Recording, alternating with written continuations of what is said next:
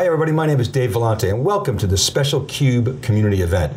You know, customers are on a digital journey. They're trying to transform themselves into a digital business.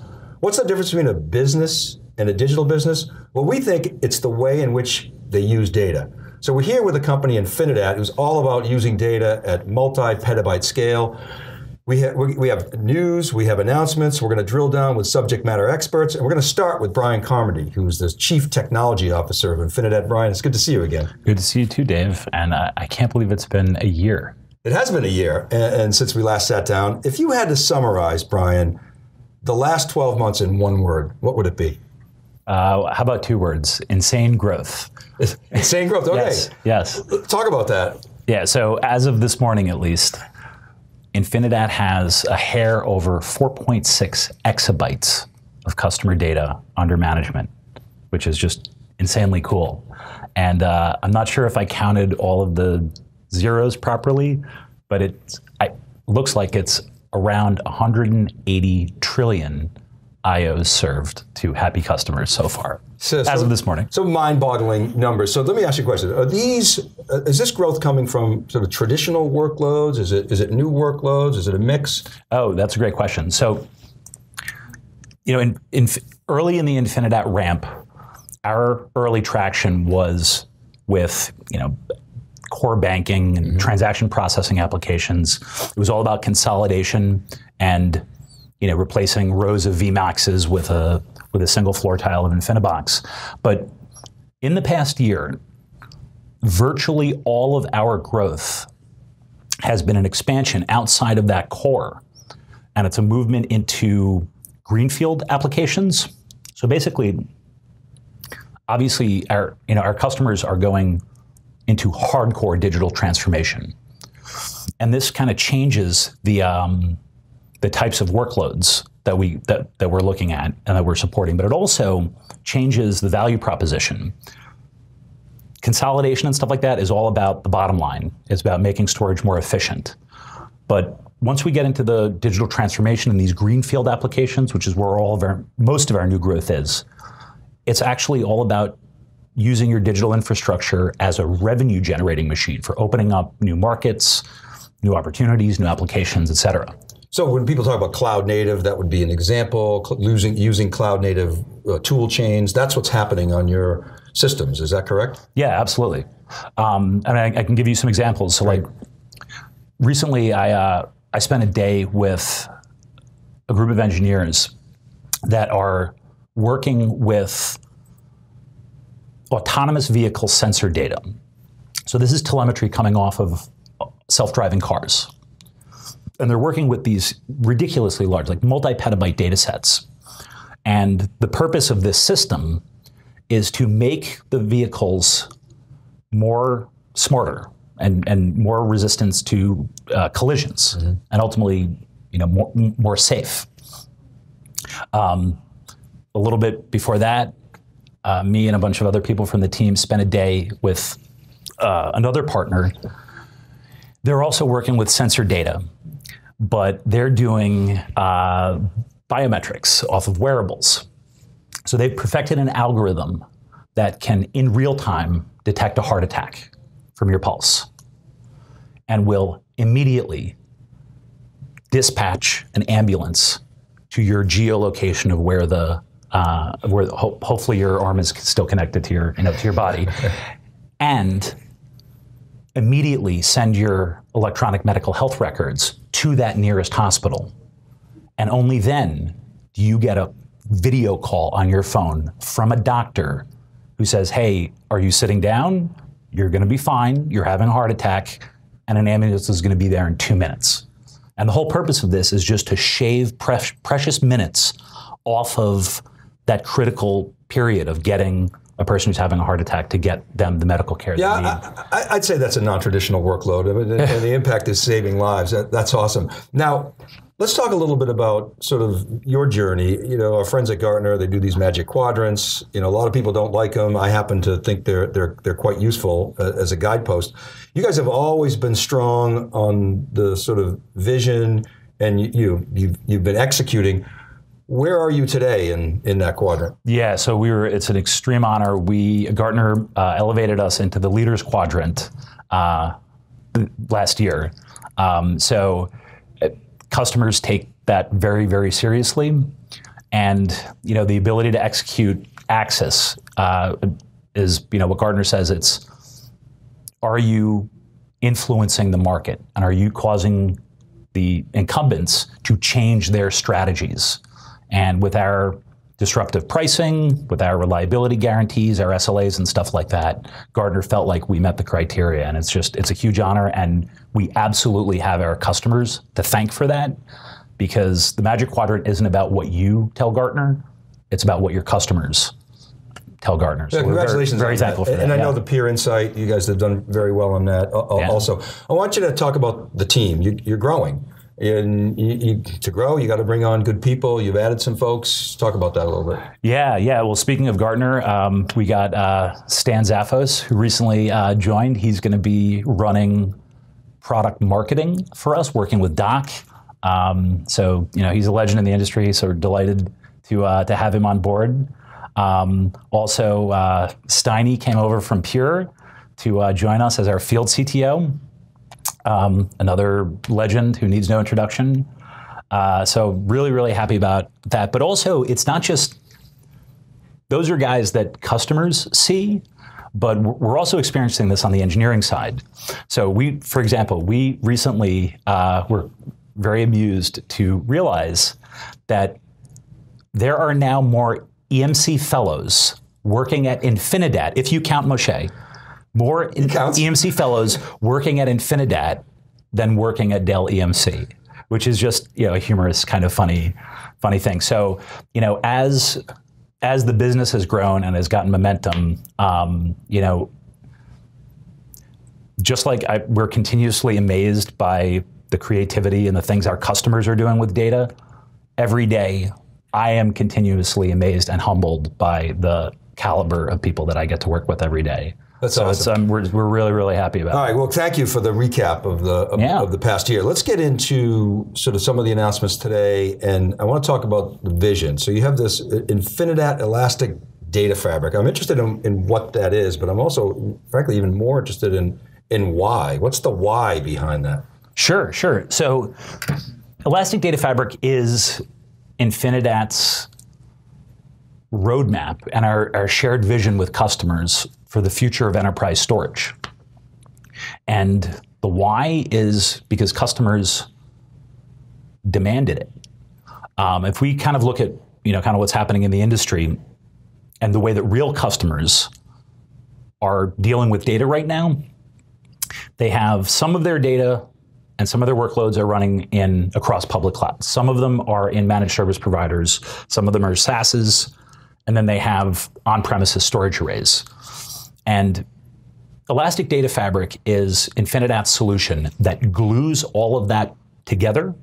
It turns it into a single platform that spans on-premises, colo, Infinidat-powered managed service providers, Google, Amazon, and Azure, and it glues it into a single platform for running workloads. Um, so, you know, over the course of this present of, of these presentations, we're going to drill down into some of the enabling technologies that make this possible. But the net net is that it is a brand new next generation data plane for, uh, let's say, for example, within an, uh, a, a customer data center. It allows customers to cluster multiple InfiniBoxes together into what we call availability zones, and then manage that as a single entity. And that, sca- and that scales from a petabyte up to an exabyte of capacity per data center. And typically, a customer would have one availability zone per data center, and then one availability zone that can span multiple clouds. So that's the data plane. The control plane is the ability to manage all of this, no matter where the data lives, no matter where the workload is or needs to be, and to manage it over a, with a single pane of glass. And those are the kind of uh, pieces of enabling technology that we're going to unpack in the technical sessions. Two questions on that, if I Sure. may. So you got the, the data plane and the control plane. If if I want to plug in to some other control plane, a you know VMware control plane, for instance, your API-based architecture allows me to do that. Is that? Oh yeah, it's application aware. So, uh, for instance, if you're uh, running a, a VMware environment or if you're running a Kubernetes environment, it seamlessly integrates into that, and you manage it from a single API endpoint. And it's elastic. It scales up and down, uh, and it's it's infinite and immortal. And probably the biggest problem that this solves for customers is it makes data migrations obsolete. Mm-hmm. It gives us the ability to decouple the data lifecycle from the hardware refresh lifecycle, which is a game changer for customers. I think you just answered my second question, which what's what makes this unique, and that's at least one aspect of it. Yeah, I mean that's the data migrations are the bane of customers' existence. And the larger the customer is, the more filer and array sprawl they have, the more of a data migration headache they have. So when we kicked this project off five years ago, our call to action, the first, the kernel of an idea that became Elastic Data Fabric, was find a way to make it so that the next generation of infrastructure engineers that are graduated from college right now will never know what a data migration is. To make it a, a, a story that old men in our industry talk about. Well, that's huge because it is the, Yeah. the bane of customers' existence. It's very expensive, minimum fifty thousand dollars per migration in many, many months. Brian, thanks so much for kicking this off. Yeah, we got a lot of ground to cover, um, and so we're going to get into it now. We're going to get into the news. We're going to double click on some of the technologies and architectures. We're going to hear from customers, and then it's your turn. We're going to jump into the crowd chat and hear from you. So keep it right there. We'll be right back right after this short break.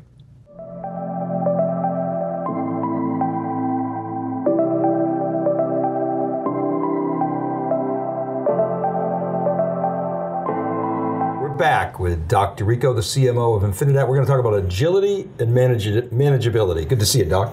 Good to see you again, Dave. All right, let's start in reverse order. Let's start with manageability. What's your story there? Sure, I'm happy to do that. You know, Dave, we get great feedback from our customers on how simple and easy our systems are to manage. We have products like Infinimetrics, which give them a lot of insights into the system. We have APIs, very simple and easy to use.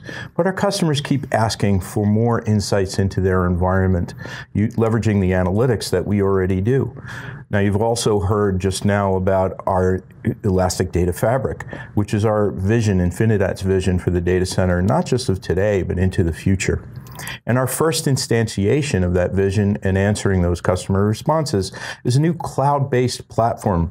Initially, to provide some better monitoring and analytics, but then your window into data migrations, auto provisioning, storage availability zones, and really your whole customer experience with Infinidat.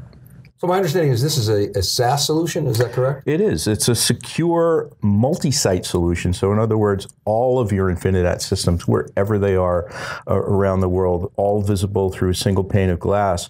Um, but the cloud-based system gives us a lot of great power too. It gives us the agility to provide faster development and rapid enhancement based on feedback and, and feature requests.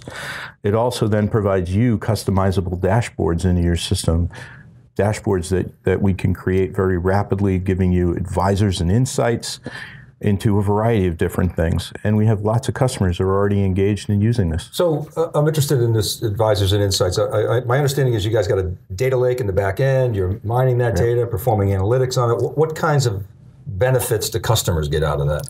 Well, they can search into things like abandoned volumes within their system, tracking the growth of their storage environment, um, configuration errors like asymmetric ports and paths, or even just performance behaviors like abnormal latencies or bandwidth patterns. So we say ab- abandoned volumes. We're talking about like reclaiming wasted space. uh, Absolutely. be able to reuse it. I mean, people in the old days have done that because a log structured file, and they, they had to do it for performance. But you're doing it to give back money to the, to the customers. Is that Exactly. right? That's exactly right.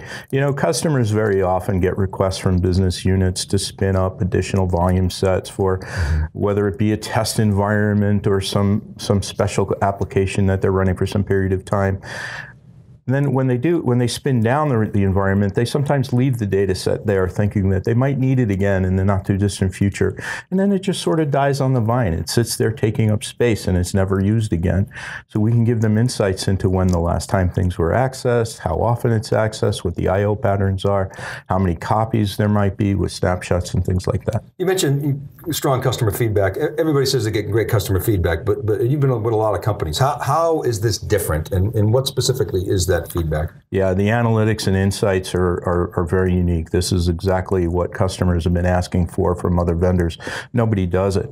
You know, we're hearing such great stories about the impact on their costs, like the capacity utilization, reclaiming all that demand and capacity, and being able to put new workloads and grow their environment without having to pay any additional costs is, is exciting to them. Identifying and correcting configuration issues, getting ahead of performance problems before they occur. Our customers are already saving time and money by leveraging this in our, in our environment. All right, let's pivot to agility. Uh, sure. You got Flex. What's your story there? What is Flex? Well, Dave, you know, imagine a world, if you will, if you didn't have to worry about hardware anymore right? It, it, it, sounds like a science fiction story, but it's not. Sounds like cloud. It sounds like cloud. and and people have been migrating to the cloud. And, and in the public cloud environment, we have a solution that we talked to about a year ago called Neutrix Cloud, providing a sovereign-based storage solution so that you can get the resilience and the performance of InfiniBox or InfiniGuard in your system today but people want that experience on premises. So for the on premise experience, we're announcing InfiniBox Flex and InfiniGuard Flex, an environment where you don't have to worry about the hardware. You manage your data, we'll manage the hardware. And you get to pay for what you use as you need it. You can scale up and down.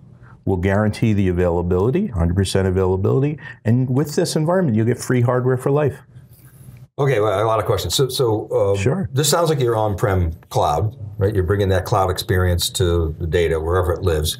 You say I can scale up and scale down. How does that work? You're you're over provisioning, or and you're not charging me for what I don't use. Can you give us some details there? Well, just like with uh, with an InfiniBox, we're going to try to provide the, the customer with the InfiniBox that they need, not just for today, but for tomorrow. We're going to work with the customer to look into the future and try to determine what are their performance requirements and capacity requirements over time. The customer will have the ability to manage the data configuration and the allocation of the storage and add or remove storage as they need it. As they need it, as they scale up, and we'll, we'll build them based on a daily average, just like the cloud experience. And if, as they reduce, same thing. It will adjust the daily average and they'll get billed accordingly. So am I right? The customer makes some minimum commitment. Yes. And, and, then if they go over that, you'll charge them for it. If they don't, then you won't charge them for it. Is that correct? If they go over it, we'll charge them for the period that they go over. If they continue to use it forever, we'll charge them that. If they reduce it back, then we'll, we'll charge them the reduced amount. So that gives them the flexibility there and the, the agility. Okay, 100% availability. What, what's behind that? Can you, you know, color? We have a seven nines reliability metric that we that we manage to on a day-to-day basis. We have customers who've been running systems for years without any noticeable downtime. And when you have seven nines, that's 3.16 seconds of availability per year, right? The, the life cycle of an I.O. timeout is much longer than that. So effectively, from the, the customer's application perspective, it's 100% available.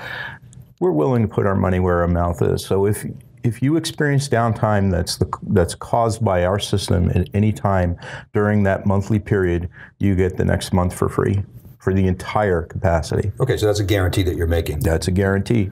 Okay, read the fine print, but it sounds like the fine print is just what you said. It's pretty straightforward. Uh, free hardware for life. Free, free like a puppy. no, free like in free. Okay. free meaning you're paying for the service.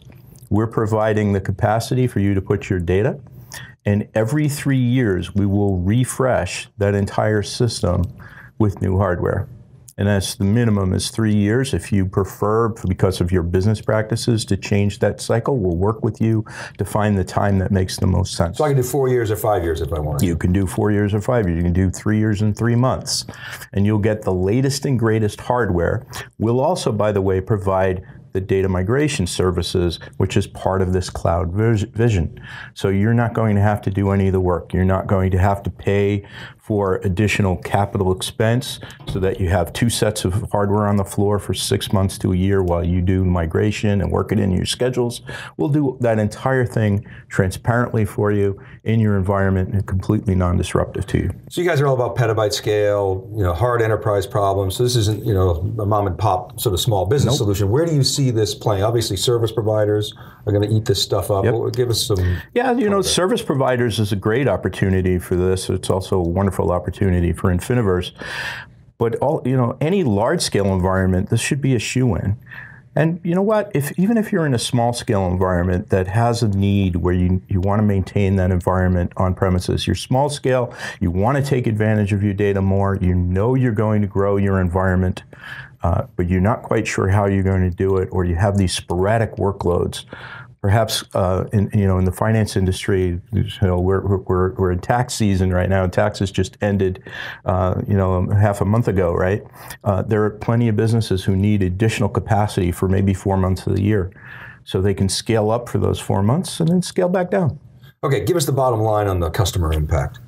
So the customer impact is really all about greater agility, the ability to provide that capacity in a flexible model without big impact to their to their overall budget over the course of the year.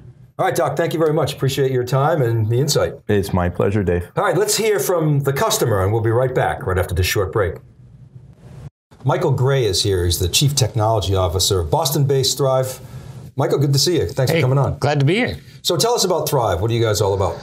Uh, you know, Thrive started uh, almost 20 years ago as a traditional managed service provider, but really in the past four to five years transformed into a next generation managed service provider. Primarily now we're focusing on cybersecurity, cloud hosting, and uh, uh, public cloud hosting as well as disaster recovery. To me, uh, and, and, this is something that's primary uh, to Thrive's focus is uh, application enablement. We're an application enablement company. So if your application is best run in Azure, uh, then, then we want to put it there. Uh, a lot of times we'll find that um, just due to business problems or legacy technologies, we have to build private clouds, or even for security reasons, we want to build private cloud, or purely just because we're running into a lot of public cloud refugees. Mm-hmm. Um, you know, know, they didn't realize a lot of the uh, maybe incidental fees along the way actually climbed up to be a fairly big budget number. So, you know, we want to really look at uh, people's applications and enable them to be highly high performance, but also highly secure. So yep. I'm curious as to when you brought in Infinidat, yep. what the business impact was, mm-hmm. you know, economically. Yep. And there's, yep. there's, other sort of non-TCO factors that I want to explore. Yeah. So was it the labor cost that got reduced? Did you redeploy those resources? Well, or was well, it actually well, the hardware? Or? First and foremost, um, and you know, this is going back many years, but um, and, and I think I would say this is true for any uh, data center cloud provider. The minute the phone rings and someone says my storage is slow, we're losing money okay? Because we've had to pick up the phone and someone needs to address that. Um, we have eliminated uh, all storage performance uh, help desk issues. It, it's now one thing I don't need to think about anymore. Uh, we have, we know that we can rely on our performance, and we know we don't need to worry about that on a day-to-day basis, and that is not in question. Uh, now, the other thing is really as we started to expand our Infinidat footprint geographically, we suddenly started to realize not only do we have this great foundation built, but we can leverage an investment we made to do things that we couldn't do before.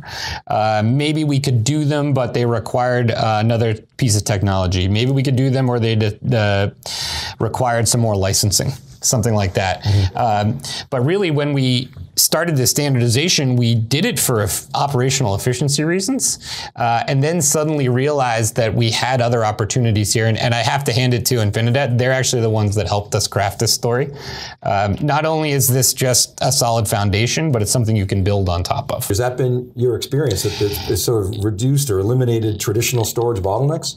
Oh, absolutely. And you know, um, I mentioned before that this is uh, storage performance has now become an afterthought to me. Um, you know, and a little bit the way we look at our storage platform is we, from a performance standpoint, not a capacity standpoint, we can throw whatever we want uh, at the Infinidat. Uh, and sort of the running joke internally is it will just smile and say, "Is that all you got?" You mean like mixed workloads, or you don't have to sort of tune each array for a particular workload? Yeah, yeah, and and you know, I can imagine as someone that might be listening to what I'm saying, well, hey, come on, you you know it can't really be that good. And I'm I'm telling you from seeing it day to day.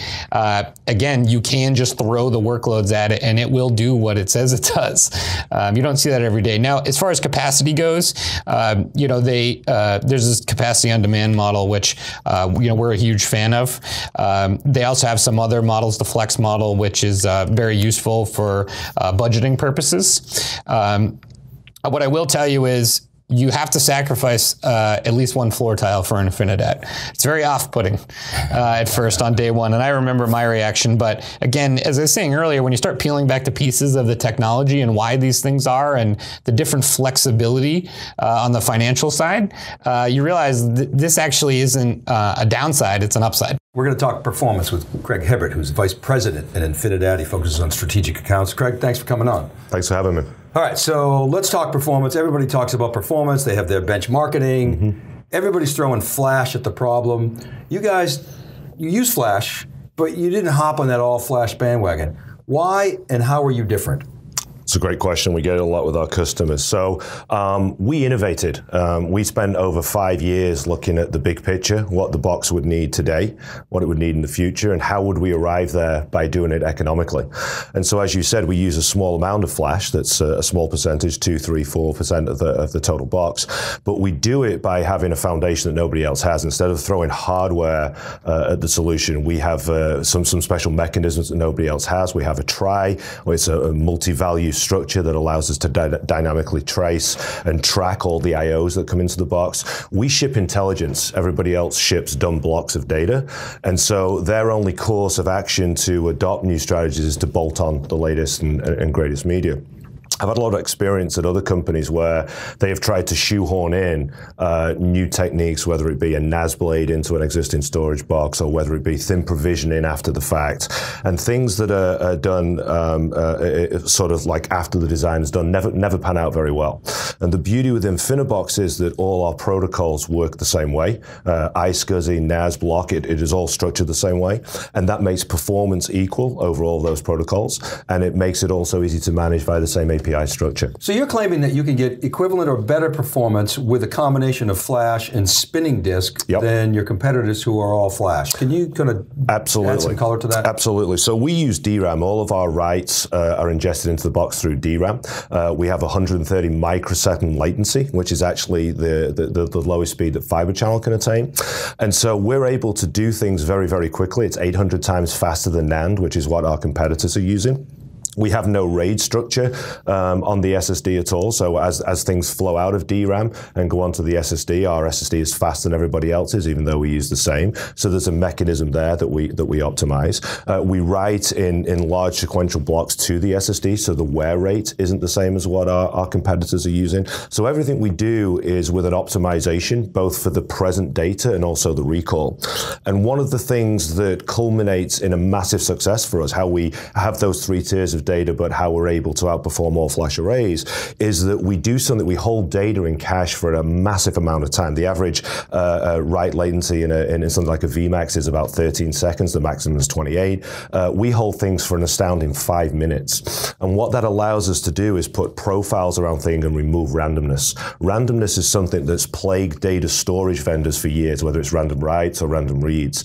If you can remove that randomness, then you can write out to what are the slowest spinning disks out there, the nearline SAS drives, but they're the fastest disks for sequential read. So if everything you write out is sequential, you can use the lowest uh, uh, cost disk, the, the nearline SAS disk, and, and maximize the performance. And it's that technology, it's that uh, those patents, 138 patents, that allow us to do all of these steps in the process, which augment our ability to serve customers' data at a, at a vastly reduced price. So your secret sauce is architecture, uh, intelligence, as you call it, and Absolutely. then you're able to provide lower cost media.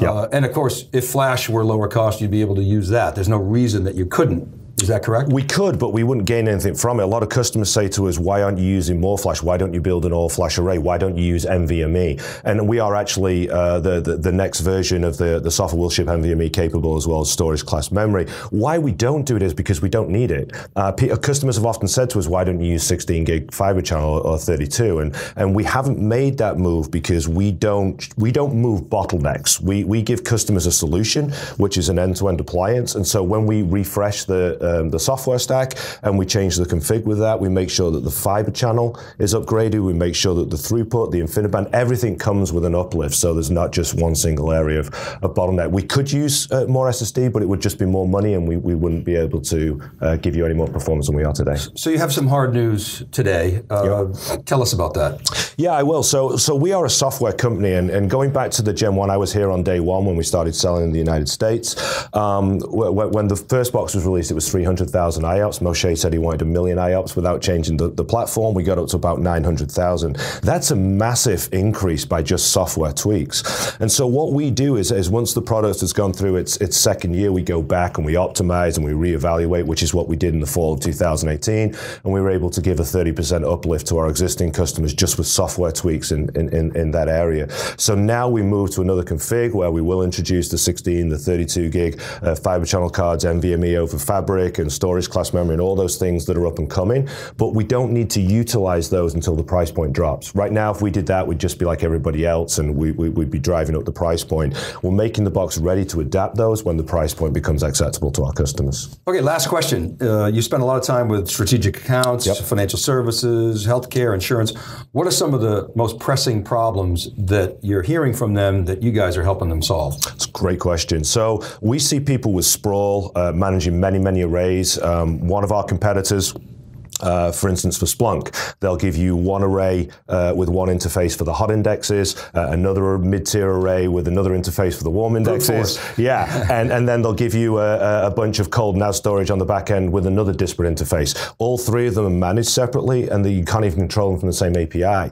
So what customers like about us, and just, just Splunk is just one example, so we come in with one 19-inch uh, uh, array in, in one rack. The hot indexes are handled by the DRAM, the warm indexes are handled by the SSD, and the cold data's right there on the, the nearline SAS drives. So they see from us this powerful, all-encompassing solution that's better, faster, and cheaper. We sell on real, not effective. And so when, when encryption and things like this get turned on, the price point doesn't go up with Infinidat customers. They already know what they're buying. Everything else is just cream. And it's massive for economical reasons as well as technological reasons. Excellent. Craig, thank you. Thanks so much for having me. Okay, keep it right there, everybody. We'll be right back right after this short break.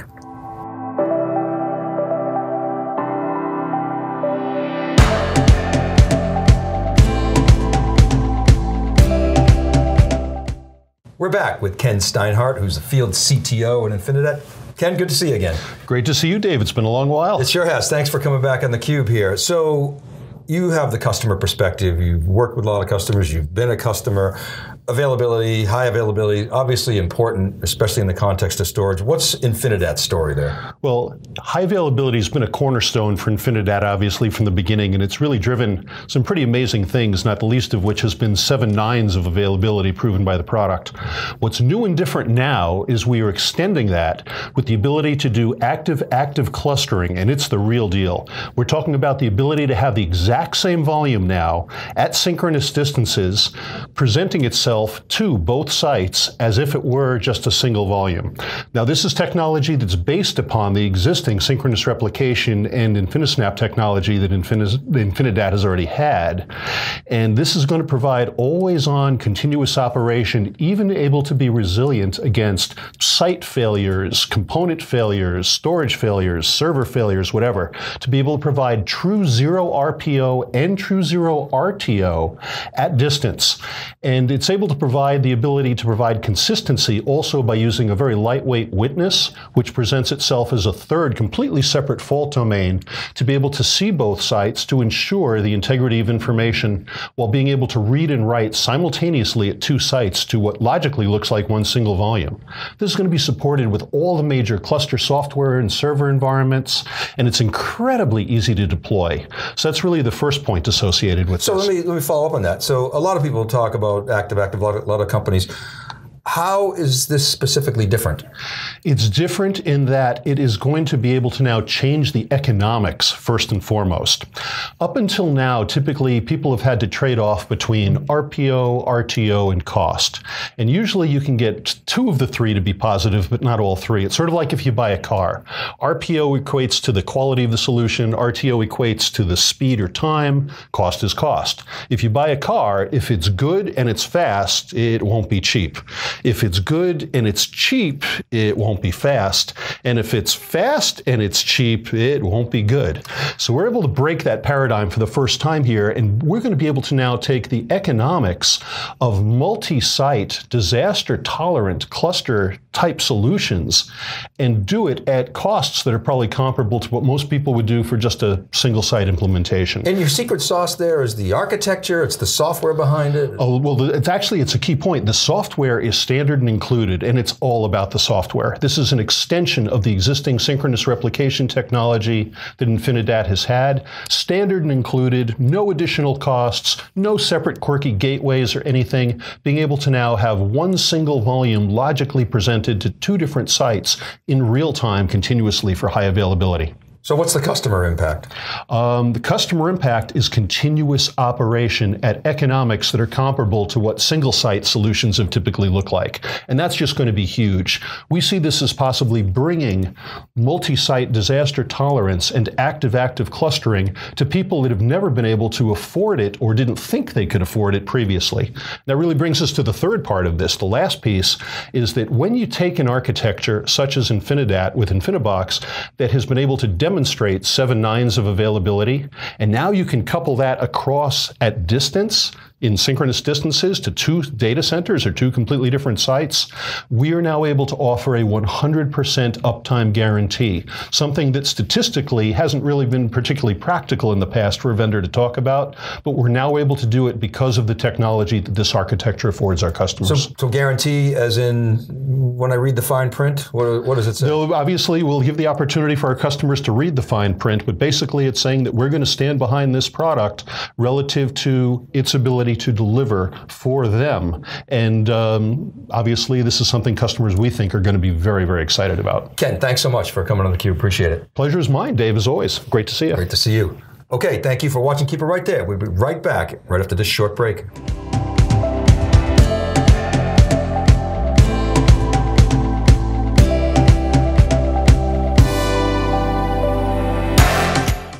Okay, we're back for the wrap up with Brian Carmody. Brian, let's geek out a little bit. Um, you guys are technologists. Let's start with the software tech that we heard about today. What are the takeaways? Sure. So yeah, there's a huge amount of, uh, of content in here, and software is, is most of it. Um, so we have first is R5. This is the latest software release for InfiniBox. It improves performance, it improves availability with active-active, and it introduces non-disruptive data mobility, which is a game changer for uh, for customers for uh, manageability and agility. Also, as part of that, uh, we have the, the availability of Infiniverse, which is our cloud-based analytics and monitoring platform for uh, for Infinidat products, but it's also the next generation control plane that we're building.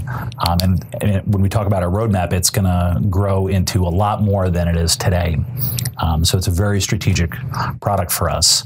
But yeah, that's the the net net on software. Okay, so but the software has to run on some underlying hardware. So what are the innovations there?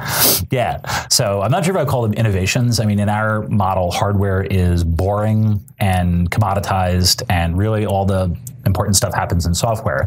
But we have listened, customers have asked us for, and we are delivering 16 gigabit fiber channel as a standard option. And we're also giving a option for 32 gig fiber channel and for 25 gig Ethernet. Um, 25 gig Ethernet, which is again things that uh, customers are asking for, and we've delivered. And also, while we're on the topic of, uh, of, of protocols and stuff like that, we're also demonstrating our uh, NVMe over Fabrics implementation, which is deployed with select customers right now. It is the world's fastest NVMe over Fabrics implementation. It is a round trip latency of 52 microseconds, which is half the time round trip for us is half the time that it takes a NAND flash cell to recall its data, forgetting about the software stack and the round trip. Um, that's going to be available in the future for all of our customers, general availability via a software only update. Ah, that's incredible. Uh, Yeah. all right, so net out what that means for for the roadmap. Oh, sure. So basically, with our roadmap, is we're laying out uh, a very ambitious vision for the next 18 months of how to give customers ultimately what they are are are screaming for, which is help us evolve our on-premises storage from old school storage arrays and turn them into elastic data center scale clouds in my own data centers. And then come up and then give us an easy seamless way to integrate that into our public cloud and our off-premises technologies. And that's where we're going to be starting today and taking us out for the next 18 months. Well, we covered a lot of ground today. Um, uh, pretty remarkable. Congratulations on, on, the announcements. Uh, we covered all the abilities, even performance ability. I'll throw that one in there. So, uh, so thank you for that. Um, final word. I, the final word is probably just a message to our customers to say thank you and for, for trusting us with uh, with with with your data.